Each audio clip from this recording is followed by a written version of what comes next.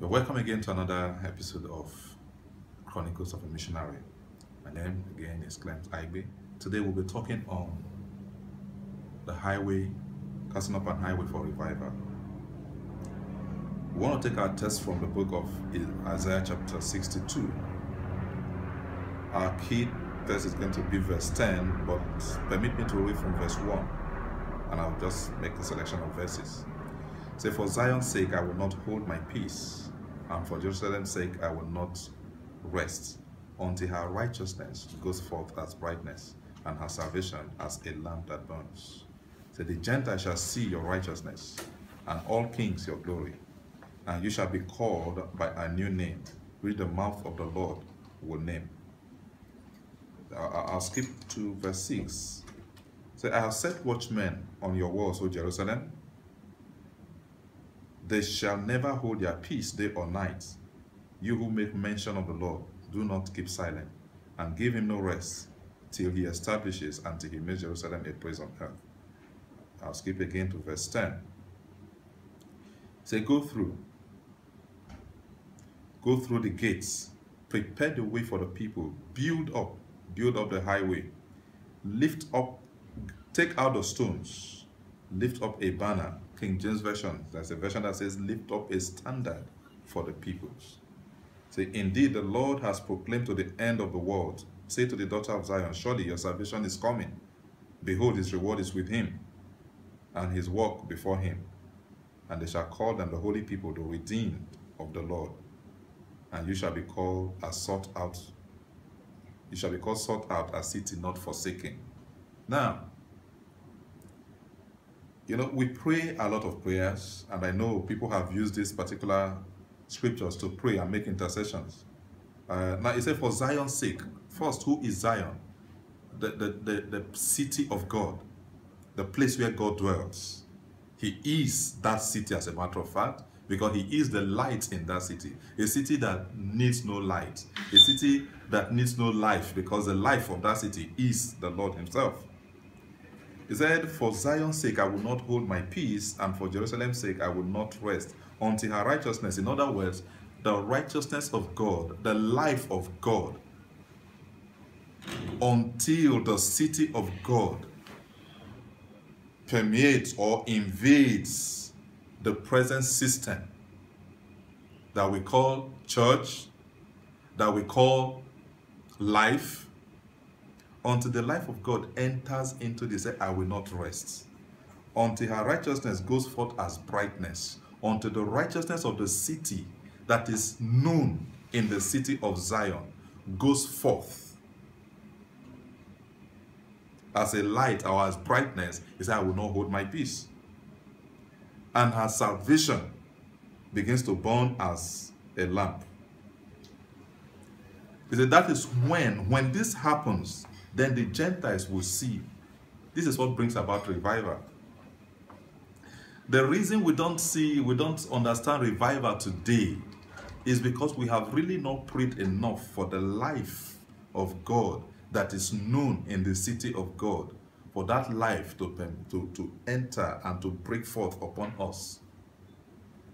But something else I need to say if we are to even pray, if the life of God were to break forth upon the, this present church, please, you judge, being spiritual, do you think this the present day church can actually withstand the presence and the fervent heat that is that is present command commands? The answer is no. Because the Bible says that a fire goes before him to burn up all his enemies round about. Say the hills, they melted like wax at the presence of the Lord. If God were to appear in the monuments that we have built today, that we call church, I give you this assurance that men will not be able to stand. And that's exactly what Malachi chapter, chapter 3 tells us. Even though we've all we see in that verse is the tithe and the offering, but far beyond that, even those who will who will who will bring tithe and offering, there are people who have who have gone through verses 1 to 4. He said, when the messenger, when he appears, he said, Who can stand? He said, Because his appearing is like the refiner's fire. And you need to know what the refiner's fire is like. The refiner's fire is that fire that is able to melt iron, melt anything that you put into it. Say, so who will be able to stand at the appearing of the messenger of the Lord? The present day church cannot stand when he appears. And that is why God is taking time to prepare the way that and to prepare the people that will understand this so that his appearing they'll be able to stand because he would have taken them through his own fire now when you skip to verses he now began to say he said i have set what men which means because god saw that the present system will not be able to withstand what's about to come so he had to raise up intercessors People who will not hold their peace. People who will not be quiet until they see that men are made ready. Until they see that the ground is well watered for the life and the light of God to break forth and to shine forth. Men who will pray, who will intercede, stand in the gap until the Lord establishes and makes Zion or Jerusalem a praise on earth. Now, how does this happen? Verse 10 shows us the way. Now, if I were to go into church history, it will reveal a lot of things, but because of time, I may not be able to go into that. But you see, the very foundation of the present church system is even faulty. Because when you look at the church, the early church in Acts chapter 2, you find that it was a church that wherever they go, they set the places ablaze. They carry the fire of God. Wherever they go, they stirred up life. Wherever they go, they stirred up revival. It was a move that was contained in vessels it was not contained in monuments. It was a move that was like a rolling stone that could not be stopped. It was a flaming fire that was burning, and wherever they get into this, they just but they just can't but set the place on fire. But there was a system that drove that move. The wineskin was complete all the fivefold ministries were in operation.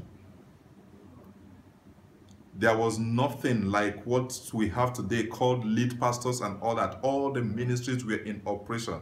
For as long as the ministries were in operation, the life, the people were built, there was an ingathering, they were built, they were prepared, they were sent out, and they just continued. Timothy, Paul was saying to Timothy, he said, I put you in remembrance of the gifts that are upon you. Then he now said, Look, what you have heard me taught amongst many, he said, Commit this unto faith, the hands of faithful men who will be able to teach others also. It's a continuous process. It's a discipleship move. Jesus told us the command that he gave us, what, we call the what we call the Great Commission today. He said, I send you therefore that you make disciples of all nations. But today, what we are just doing is we just preach or we invite people to church. That is not the original intent of God. The intent was to make disciples, get them established on earth, get them established in the faith. Let their faith be in God and not unto not in men. Paul was saying, he said, when I came, I came in the demonstration of the Spirit and of power, so that your faith will be in the power of God and not of man. Not in the wisdom of man. But today, what we are teaching people are the wisdom of men. So, what happens naturally? It produces the life of men in men. What we see today is as we, we, we if the very teachings I will teach reveals us to men rather than reveal the Christ that is meant to be in us to men. But this re the reason is not far-fetched. Paul said in Galatians 1 6, 15 and 16, he said, When it pleased the Father who, cre- who separated me from my mother's womb to reveal his Son in me, is after the revelation of the Son in me that I can preach him unto the Gentiles. If the Son was not revealed in Paul, he would not have been able to preach him to the Gentiles. And the question is this Who are you preaching to men? Has Christ been revealed in you? If God has not revealed the Son in you, there is a process that reveals that Son. It's a good truth. Now, what God is doing, He begins to identify, even as men begin to intercede. What God begins to do in the midst of this monument that had been built over the years, He begins to bring men out. Now, this prophecy in Isaiah was given when when the children of Israel were held in Babylon as captives. Then, when it was time for them to go back to their land, he began to tell them, Go through the gates. Every time you pass through the gate, he said, Cast up an highway that leads to the promised land. He said, Cast up an highway. Then he said, Gather out the stones. Everything that will cause men to stumble, remove from that road. He said, Cast up an high, cast up an highway Say, take out the stones. Then he said, lift up a standard. Make sure you lift up a standard. Teach them the doctrine that they must walk in. The standard of the kingdom. It is not my will, but thy will, O Lord. Teach them that on this highway, it is not the will of men. It is not the teaching of men that will prosper on this highway. It is the teaching of the kingdom, the revelation of God, the life of God. That is what we prosper on this highway. And also, anything in your life that will cause men to stumble, take them out. Bitterness, anger, slandering, fornication, all the things that were mentioned that are called the works of the flesh. Ensure that you stay on God to purge you of them because on this highway is called the highway of holiness. Isaiah 35 tells us that there is, on that particular place, there will be an highway, an highway of holiness. He said, wayfaring men will walk on it. He said, though they be full, they will not stumble. Why won't they stumble? Because once they are on that way, on that path of holiness, even though they are fools, they are taught and they are brought into the wisdom and the maturity, the knowledge and understanding of God. And that is what your life and my life are supposed to be an highway unto salvation. And God is gradually beginning to identify this set of people to bring them out. And He's saying, Look, as you come out from amongst them, remember there's a place where He says, we're talking about Babylon. He said, Come out from amongst them. And God is actually delivering and getting people out of the midst of this whole confusion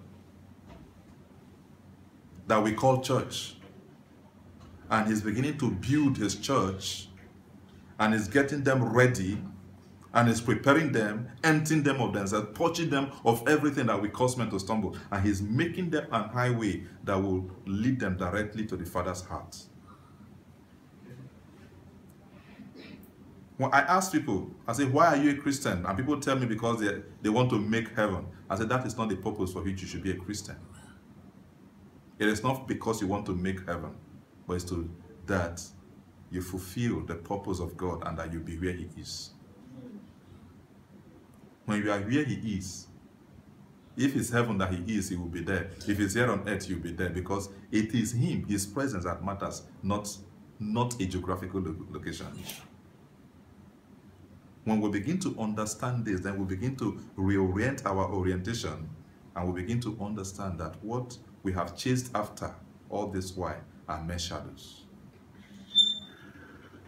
My prayer, even as you watch this, is that God will make you an highway for salvation. That God will gather out the things that will cause men to stumble. God will gather, remove the things in your life that will cause men to question. To question the God that you pro profess to, to, to have in you. Anything that will cause men to say, if this is the life of a Christian, then I don't want to be a Christian. I pray that God will purge you of such things in the name of Jesus. May God make you a minister that will glorify his name. May God make you a child that will carry and lift up a standard that when men see, they will desire to know the God that you serve. God bless you, even as you continue to listen in Jesus' name.